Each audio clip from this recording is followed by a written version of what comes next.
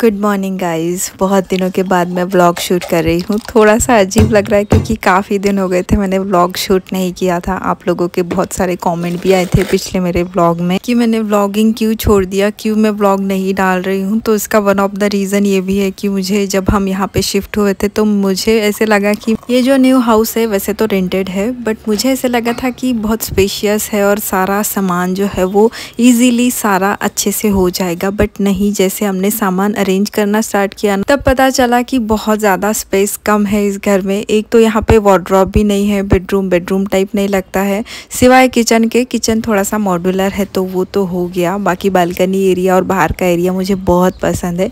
और living area मुझे living area type का कुछ भी नहीं लगता, जैसे मुझे बहुत अच्छा लगता है थोड़ा सा ऑर्गेनाइजिंग करना डेकोरेट करना, जो कि मैं यहाँ पे नहीं कर पा रही हूँ अपने हिसाब से। तो वो मुझे थोड़ा सा नेगेटिव पॉइंट लगता था, इसलिए मैंने फिर ब्लॉगिंग छोड़ ही दिया था और मैं शॉर्ट्स ही अपलोड कर रही थी जो कि मैं दिल्ली के कुकिंग में करती थी। बट आज कुछ लगा मेरे मन को कि मैं अपने मन की बात आपसे शेयर कर लूँ, इसीलिए मैंने आज ब्लॉग शूट किया और थैंकफुल नेक्स्ट ईयर की जान या फिर फेब तक हम शिफ्ट होने का सोच रहे हैं, थोड़ा सा बड़ा घर देखने का सोच रहे हैं, क्योंकि जब हम यहाँ पे शिफ्ट हुए थे ना, तब मेरे हस्बैंड के पास भी इतना टाइम नहीं था कि वो अच्छा और घर ढूंढ पाए, इसीलिए ये इमरजेंसी वाला घर हमको मिल गया था। बट ठीक है, ये भी घर मुझे अच्छा ही है बट थोड़ा सा मुझे स्पेस कम लगता है तो वही एक इश्यू है। तो आज है सैटरडे और सैटरडे संडे को अद्विक को छुट्टी रहती है तो मैंने सोचा कि चलो आज आराम से ब्लॉग शूट करती हूँ। आप लोगों के साथ शेयर करती हूँ मेरा सुबह से लेके दोपहर तक का रूटीन जो कि छुट्टी के दिन वाला है। बाकी तो मुझे बहुत ज़्यादा हेक्टिक और बिज़ी डे रहते हैं। तो यहाँ पे मैंने सुबह का टाइम है, चाय बना लिया था मैंने, और चाय हो गई थी। सबसे पहले हम चाय ही पीते हैं, और खाली पेट नहीं पीना चाहिए, इसलिए मैं टोस्ट रख देती हूँ। बाद में मैं नाश्ता या फिर ब्रेकफास्ट बनाती हूँ। तो आज ब्रेकफास्ट में मैं बना रही थी साबुदाना खिचड़ी। साबुदाना को मैं रात को ही सोख होने के लिए रख देती हूँ। ऑयल में ऐड किया था ज़ीरा, मिर्ची और बहुत कम ही आलू ऐड करती हूँ, कड़ी पत्ता रोस्टेड पीनट मैंने ऑनलाइन ही मंगा लिया था तो मैंने वही ऐड कर दिया था थोड़ा सा क्रश करके। धनिया, जीरा का पाउडर नमक थोड़ा सा लेमन जूस और ऊपर से हरा धनिया और इसे ढक करके थोड़ी देर के लिए पकने के लिए छोड़ दो और ये बहुत अच्छे से खिली खिली बनती है। और मैंने यहाँ पे एप्पल को भी चॉप कर लिया है। जो एप्पल है, वो मैंने पील कर लिया था अद्वी के लिए, क्योंकि उसे छिलके बिल्कुल पसंद नहीं है। वैसे तो उसके खाने के इतने कोई नखरे नहीं रहते हैं एक हाथ किसी चीज़ को अगर बोल दे तो फिर मैं वो कर देती हूँ उसके मन का। तो यहाँ पे पहले मैंने उसे दे दिया था खिचड़ी और साथ में एप्पल, और सुबह मैंने उसे हल्दी का दूध दिया था, साथ में आलमंड्स और जो ब्लैक मनुका है, वो मैं उसे रात को भिगो के दे देती हूँ। हस्बैंड को मैं मैंने नाश्ता दे दिया था और वो कॉलेज के लिए निकल चुके हैं।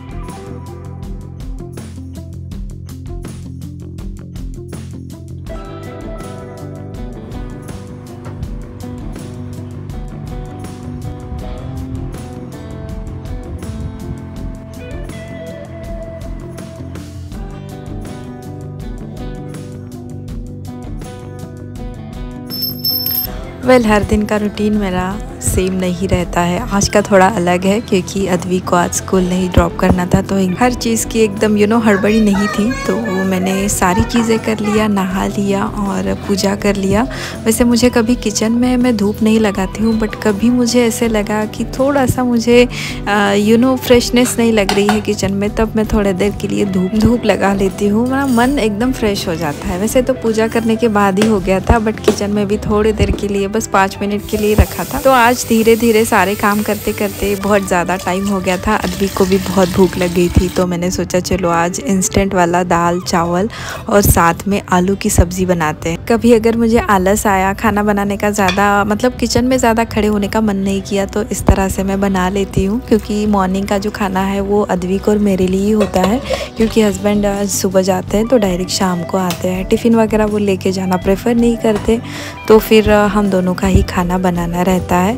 तो यहाँ पे मैंने दाल, चावल, आलू, टमाटर सारे एक साथ ही रख दिया था, जैसे कि आप स्क्रीन पे देख रहे हो। अब क्योंकि मेरे पास जो चावल है ना, वो नए वाले चावल है तो जितना मर्ज़ी आप ढक्कन लगा लो, वो डब्बे का, वो निकलता ही है और थोड़ा सा चावल यू नो ऊपर फैल जाता है। बट मेरे लिए चलता है, बहुत ज़्यादा चावल नहीं गिरा था तो थोड़ा बहुत ही गिरा था तो फिर मैंने उतना मैनेज कर लिया था।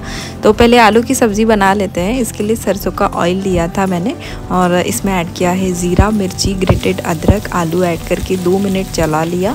सारे सूखे मसाले ऐड कर देंगे, जैसे कि रेड चिली का पाउडर हल्दी पाउडर थोड़ी सी हींग भी ऐड कर दिया था। ज़ीरा, धनिया का पाउडर और थोड़ा सा अमचूर का पाउडर और टेस्ट के अकॉर्डिंग नमक। आप इसमें गर्म मसाला भी ऐड कर सकते हो, मैंने ऐड नहीं किया क्योंकि मुझे इतना रिक्वायर नहीं लगा।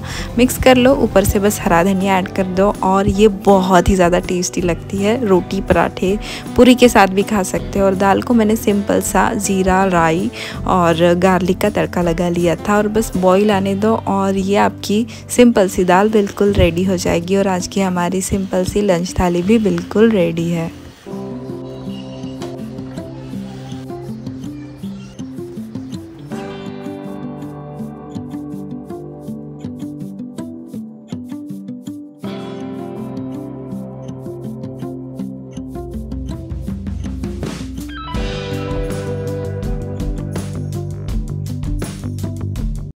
चलो इसी के साथ आ गए हम इस वीडियो के एंड पर। आपको कैसा लगा मेरा आज का व्लॉग मुझे ज़रूर कमेंट करना। अच्छा लगा है तो फिर मैं आप लोगों के साथ फिर से व्लॉग में ही मिलूँगी। मिलते हैं जल्दी। Bye take care